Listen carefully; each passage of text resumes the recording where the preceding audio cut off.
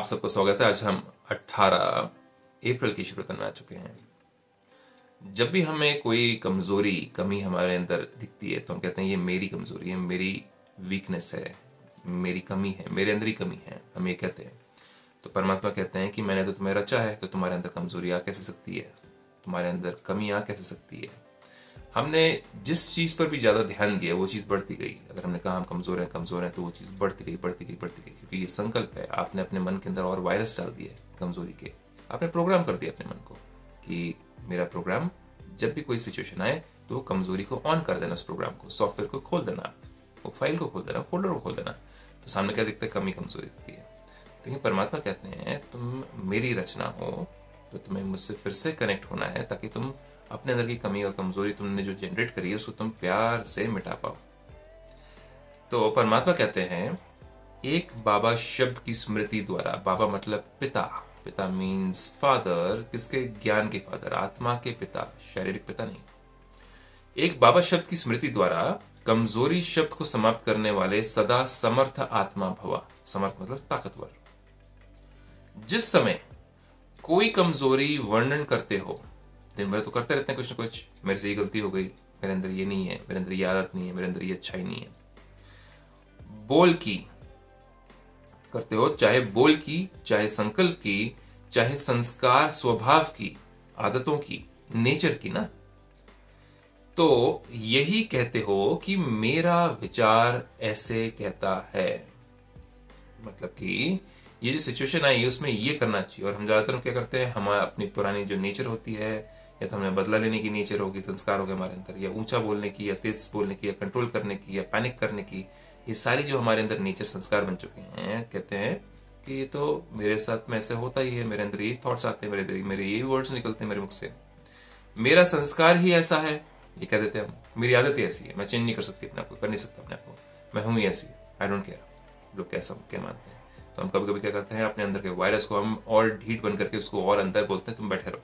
तुम्हें निकलने की ज़रूरत नहीं है, तुम्हें हमें निकालने की ज़रूरत नहीं है। लेकिन लैपटॉप में अगर वायरस आ जाए फ़ोन में वायरस आ जाए तो पैनिक करना शुरू करता है। निकालो निकालो निकालो इसको ठीक करो? तो क्यों नहीं हम अपने अंदर के वायरस को भी उसी तरीके से उतनी ही जल्दबाजी में निकालें, उतने ही फटाफट निकालें, क्योंकि ये वायरस हमें ही तंग कर रहे हैं। ये नेचर ये जो आदतें हैं, ये हमें ही तंग कर रही हैं, हमें ही परेशान कर रही हैं, और किसी को कर रही नहीं है। और हो जाते हैं, और हमारी आदतों से ही परेशान होते हैं, लेकिन अगर उनके अंदर शक्ति है अगर वो शक्तिशाली है तो वो परेशान नहीं होंगे। लेकिन चेंज तो हमें करना है ना, क्योंकि हमारे ऊपर कर्मों का बोझा चढ़ते जा रहा है, हम जितना औरों को परेशान करते हैं। अपने ही नेचर अपने ही संस्कारों से। लेकिन जो बाप का संस्कार संकल्प, सो मेरा। अब ये बात कितनी बड़ी बात है। परमात्मा कहते हैं, जब मैंने तुम्हें रचा है और तुम मुझे पहचान चुके हो कि मैं भी प्रकाश, तुम भी प्रकाश हो, मैं भी आत्मा हूँ और तुम भी आत्मा हो, बस इतना ही अंतर है कि मेरे अंदर सारा ज्ञान है और मैं जन्म मरण में नहीं आता हूँ। तो मेरा ज्ञान मिटता नहीं है, भूलता नहीं मुझे। लेकिन तुम्हें भूल जाता तुम्हें ज्ञान। तो अब जब मैं तुम्हें स्मृति दिलाना कि तुम भी एक आत्मा हो, तुम मुझसे जुड़ो और तुम मेरी रचना हो तो कैसी होनी चाहिए? चिल्लाने वाली रचना? चीखने वाली रचना? क्रोध करने वाली रचना? अहंकार दिखाने वाली रचना? या शांत में रहने वाली रचना? किसी भी सिचुएशन को प्यार से सॉल्व करने वाली रचना। कैसी रचना होनी चाहिए? लेकिन जो बाप का संस्कार, संकल्प सुमेरा, समर्थ की निशानी ही है बाप समान। ताकतवर की निशानी क्या है बाप समान कि। मैं परमात्मा का बच्चा हूँ तो मेरे अंदर परमात्मा के गुण एक छोटा बच्चा भी तो क्या करता है? अपने पिता को कॉपी करने की कोशिश करता है राइट मेरे जैसे डैडी खाते हैं, मैं भी वैसे बैठूँगा, खाऊँगा। जैसे वो कपड़े पहनते हैं, मैं भी वैसे कपड़े पहनूँगा। तो ये चीज़ें परमात्मा की हमें कॉपी करनी चाहिए, क्योंकि परमात्मा ने जब आदम को या ब्रह्मा को जब बनाया था, रचा था तो कैसे रचा होगा? कहते हैं कि God created the world in his own eyes मतलब कि उन्होंने अपने ही नज़रों से, अपनी ही नज़र से उन्होंने पूरी दुनिया को बनाया। तो उनकी नज़र कितनी पवित्र होगी, कितनी सुख, शांति, आनंद, खुशी देने वाली होगी। तो हमारी कैसी है? हमारी भी नज़र अपने बाप जैसी होनी चाहिए। तभी बाबा। तो परमात्मा कहते हैं तो संकल्प बोल हर बात में बाबा शब्द नेचुरल हो और कर्म करते। तो संकल्प में भी बाबा, कर्म करते भी बाबा, बोलते हुए भी बाबा नेचुरल हो और कर्म करते करावन हार की स्मृति हो कि करवा कौन रहा है, किसका कार्य कर रहा हूँ मेरा कुछ भी नहीं है।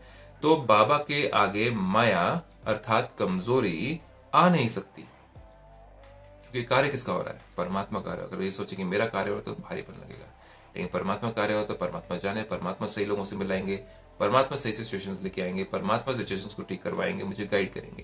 कितनी सिंपल बात है एक्शन तो लेना है, लेकिन गाइडेंस उनसे लेनी है। तो ये सिखाया जाता है कि आप कैसे ऑल माइटी अथॉरिटी से आप कनेक्ट होकर के अपनी सारी जीवन की प्रॉब्लम्स को ठीक कर पाए। आप कर किसी के सीखे मरीज़ इसमें। आपके घर के कहीं निकट होगा वो, नज़दीक होगा। जाइए और इस ज्ञान को लीजिए सात दिन में। शांति।